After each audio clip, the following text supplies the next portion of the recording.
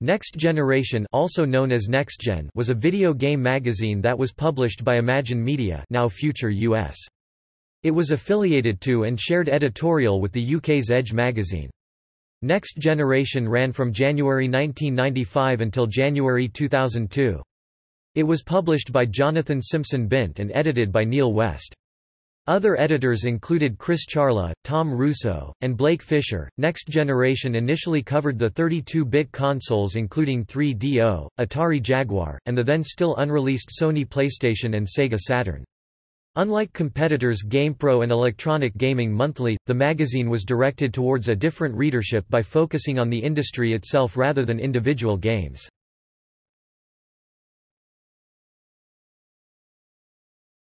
Topic: Publication history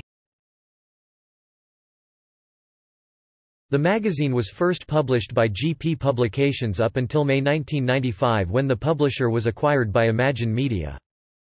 In September 1999, Next Generation was redesigned, its cover name shortened to simply NextGen. This would start what was known as Lifecycle 2 of the magazine. A year later, in September 2000, the magazine's width was increased from its standard 8 inches to 9 inches, however this wider format lasted less than a year. Subscribers of Next Gen magazine received issues of PlayStation magazine when the magazine's life cycle was terminated. The brand was resurrected in 2005 by Future Publishing USA as an industry-led website, next-gen.biz.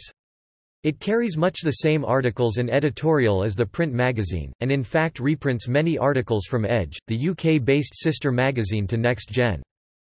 In July 2008, next-gen.biz was rebranded as edge-online.com.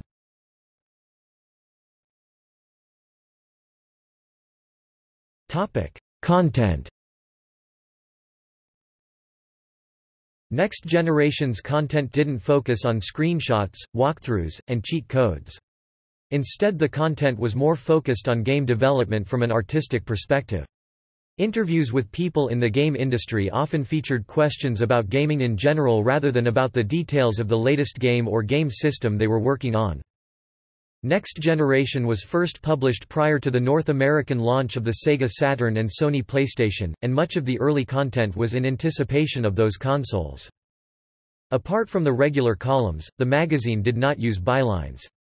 The editors explained that they felt the magazine's entire staff should share the credit or responsibility for each article and review, even those written by individuals. The review ranking system was based on a number of stars 1 through 5 that ranked games based on their merits overall compared to what games were already out there.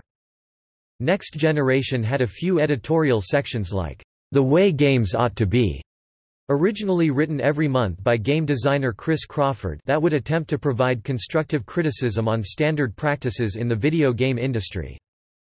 The magazine's construction and design was decidedly simple and clean, its back cover having no advertising on it initially, a departure from most other gaming magazines. The first several years of Next Generation had a heavy matte laminated finish cover stock, unlike the glossy paper covers of its competitors. The magazine moved away from this cover style in early 1999, only for it to return again in late 2000. Issue history